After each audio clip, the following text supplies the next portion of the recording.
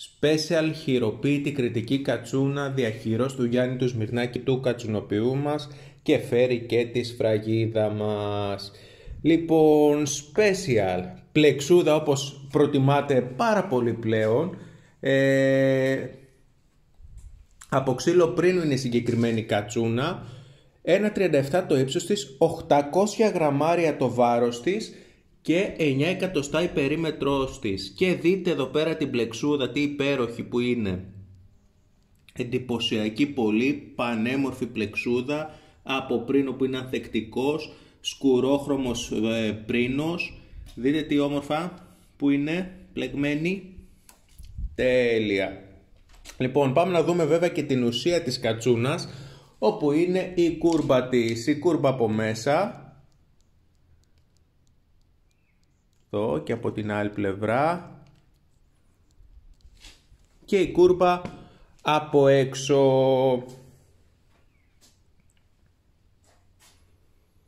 Και ο κορμός της. Πραγματικά ένα υπέροχο κομμάτι, πανέμορφη, χειροποίητη, αυθεντική, ανθεκτική.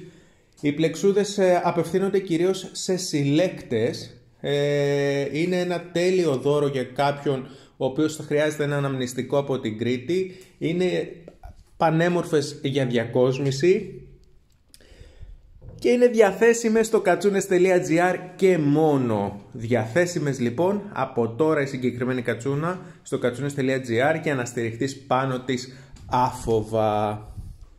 Μπορείς να πληρώσεις με αντικαταβολή είτε μέσω PayPal ή της χρεωστικής σου κάρτας. Επιλέγεις τη μέθοδο πληρωμής μέσω PayPal και απλά δηλώνεις στο επόμενο παράθυρο που θα σου βγάλει ότι δεν χρησιμοποιείς, δεν έχεις PayPal και σου βγάζει και σου ζητάει τον αριθμό κάρτας.